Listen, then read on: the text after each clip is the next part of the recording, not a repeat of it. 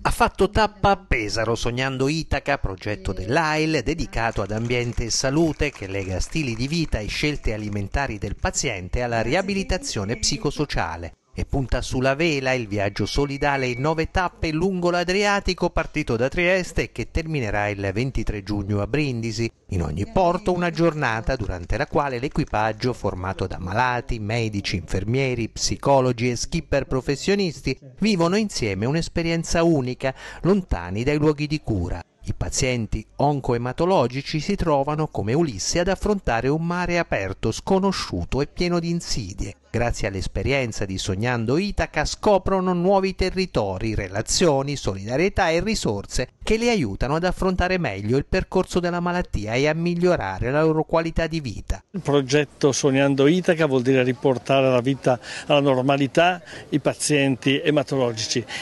Particolarmente quest'anno c'è una simbiosi tra la riabilitazione psicologica dei pazienti, la riabilitazione attraverso la vela che permette a bambini e adulti di riabilitarsi e provare emozioni forti regalate dal mare, dal vento. Il progetto nasce come un'attività di riabilitazione psicologica attraverso la pratica della vela e quest'anno allarga i suoi orizzonti aprendosi a nuove attività che hanno come obiettivo la riabilitazione psicosociale, compresa la relazione tra cibo, salute e ambiente. Diventa sempre più importante perché non solo in relazione al mandato forte di AIL, cioè prevenzione, diagnosi precoce e trattamento di patologie anche severe, ma proprio come cittadini di una comunità di destino che questo pianeta è sempre più sofferente, ci rendiamo conto che i nostri stili di vita e le nostre scelte alimentari quotidiane possono davvero farci stare meglio o peggio, sia noi sia le generazioni future. Una relazione che ha una parola chiave. La parola chiave è piano del cibo, così come si pianifica per l'energia energia, per i rifiuti, per il piano regolatore, il piano paesaggistico, per i trasporti,